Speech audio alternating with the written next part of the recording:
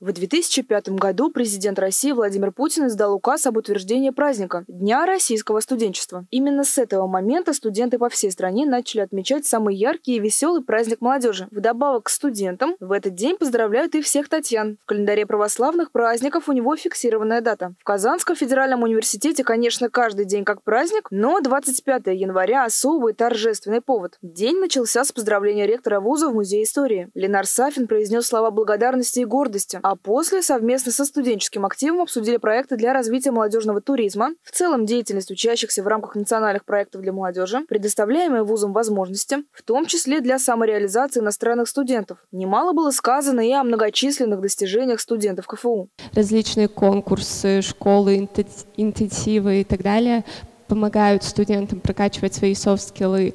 И так, например, студент КФУ только за первый год своего обучения уже может э, прокачать свои лидерские э, качества, навыки коммуникации. В завершении встречи Ленар Сафин наградил студентов, активно принимающих участие в научной, добровольческой, волонтерской, социально значимой и общественной деятельности университета. Также ректор официально заявил, что руководство вуза в честь праздника приняло решение о дополнительном премировании особо отличившихся представителей студенческого актива. Мне кажется, каждый согласится со мной, то, что студенческие годы – это одни из самых важных э, лет человека, когда он может раскрыть свой потенциал. И здорово то, что Казанский федеральный университет дает такие возможности. Это ни в коем, не, э, ни в коем случае не ограничивается областью науки. Э, творчество, добровольчество, общественная деятельность. Казанский федеральный университет предоставляет возможности для развития многостороннего, и это очень важно.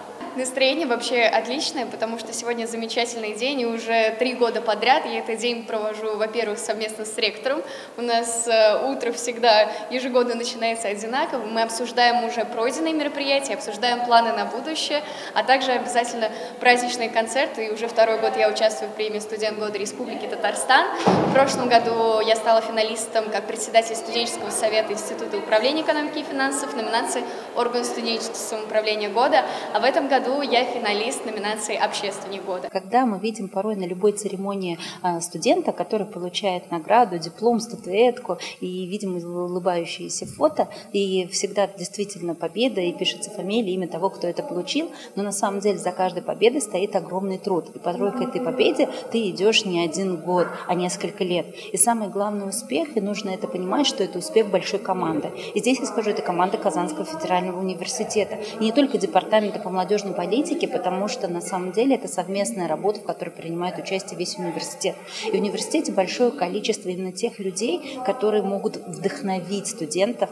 на большой путь, которые могут его поддержать, сказать, что у тебя все получится, а еще передать тот бесценный опыт, который есть. Ключевой частью дня стал, конечно, праздничный концерт. Помимо представителей молодого поколения, в культурно-спортивном комплексе «Уникс» собрались преподаватели и руководство вуза, которые вспоминали о своих студенческих годах так, как будто это было вчера. Как оказалось, оказалось, представительниц прекрасного пола по имени Татьяна много. И каждая гордится, ведь в этот день можно получить поздравления в двойном объеме, если ты еще и студентка. На самом деле, я никогда раньше особо как бы не праздновала ни День Татьяны, ни, студен... не студенческий день. А вот когда вот поступила в университет, мы с девочками начали собираться в кафе, очень часто ходили такие вот на мероприятия. Я заканчиваю третий курс, у меня остался четвертый курс, э, и в дальнейшем я хочу работать по своей специальности, архитектурные конкурсы участвовать и развиваться в этой сфере. Программа традиционного студенческого мероприятия, приуроченного к празднованию Дня российского студенчества, была насыщена яркими творческими, хореографическими номерами, музыкальными композициями и театральными постановками. Ректор Казанского федерального университета Ленар Сафин со сцены поблагодарил всех причастных к этому дню и выразил надежду, что студенты продолжат эффективно вести научную, творческую, спортивную и общественную жизнь. Я в этот день